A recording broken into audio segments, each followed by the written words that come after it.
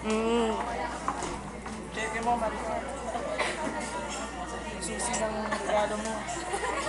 Bayad mo pa, kakotse. Kaya mo regalo ng mama mo. Sabi mo, kahit biyay ka. Kahit Ano ba yan? Pwede ko mo wag yun.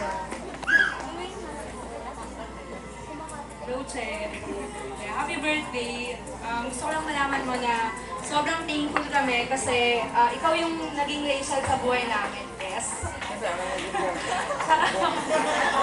Ayan. Tapos ano, um, basta kung, kung may gusto kang itanong na parang nagugulat ka or may problem ka, huwag kang mahihiyang sabihin sa amin kasi wala ka naman nun eh. Joke lang. Wala. Ulitin ko. Sabi ko kasi ganito. Huwag kang mahihiyang magsabi sa amin kasi wala ka naman nun. Joke lang, joke lang.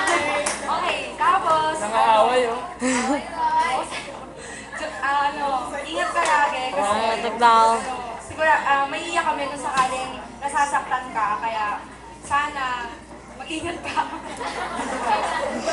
Kay Robert, ah, mahal ka namin, saka, ano, dito na kami lagi. Happy birthday! Yes!